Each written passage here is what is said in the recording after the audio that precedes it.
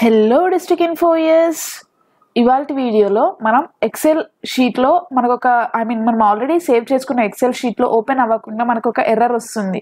So ఆ error ఏంటి? ఆ ఎర్రర్ని ఎలా రిజాల్వ్ చేయాలి అనేది మనం ఇప్పుడు మీకు చూపిస్తున్నాను. చూడండి నేను ఇక్కడ ఒక ఎక్సెల్ షీట్ ఉంది కదా ఇది ఓపెన్ చేస్తున్నాను చూడండి. ఇది ఓపెన్ చేసిన తర్వాత మనకి ఒక ఎర్రర్ వస్తుంది. సో ఆ ఎర్రర్ని ఎలా రిజాల్వ్ చేయాలి? చూడండి ఇక్కడ మనకి Microsoft Excel.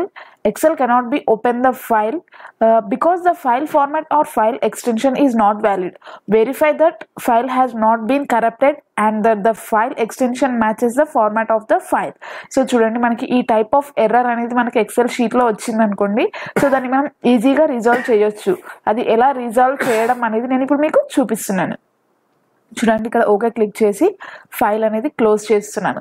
సో మనకి ఈ ఎక్సెల్ షీట్లో ఎర్రర్ ఎందుకు వచ్చింది అంటే మనకి ఆల్ పర్మిషన్స్ అనేటివి మనకి ఎక్సెల్ షీట్కి లేవు. సో మనం ఆ పర్మిషన్స్ అనేటివి మనం ఇప్పుడు ఇవ్వాలి. చూడండి ఈ షీట్ పైన రైట్ క్లిక్ చేసి ఇక్కడ ప్రాపర్టీస్ అని చూడండి ప్రాపర్టీస్. సో ప్రాపర్టీస్ అని క్లిక్ చేస్తే మనకి ఒక ట్యాబ్ ఓపెన్ అయిపోయింది కదా. సో ఇక్కడ చూడండి general security details and previous version. So మనం ఇప్పుడు సెక్యూరిటీ చేంజెస్ అనేవి పర్మిషన్స్ ఇవ్వాలి. సో సెక్యూరిటీలోకి వెళ్ళి చూడండి ఇక్కడ సెక్యూరిటీలోకి వెళ్ళిన తర్వాత ఎడిట్ క్లిక్ చేయండి. ఎడిట్ క్లిక్ చేసిన తర్వాత యాడ్. యాడ్ క్లిక్ చేసిన తర్వాత అడ్వాన్స్డ్. సో ఈ అడ్వాన్స్డ్లో సో ఫైన్ నౌ. ఫైండ్ నవ్లో మనం ఇప్పుడు ఇక్కడ ఎవ్రీ వన్ అనేది ఫైండ్ అవుట్ చేయాలి. So every one every one పైన డబుల్ క్లిక్ చేసి ఓకే క్లిక్ చేయండి.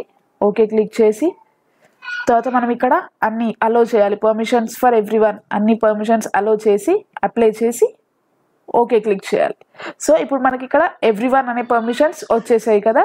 So after that again edit edit click చేసి యాడ్ సో మళ్ళీ advanced and fine now so ఇప్పుడు మనం ఇక్కడ అడ్మినిస్ట్రేటర్స్ చూడండి ఇంతకుముందు మనం ఎవ్రీ వన్ సెలెక్ట్ చేసుకున్నాము.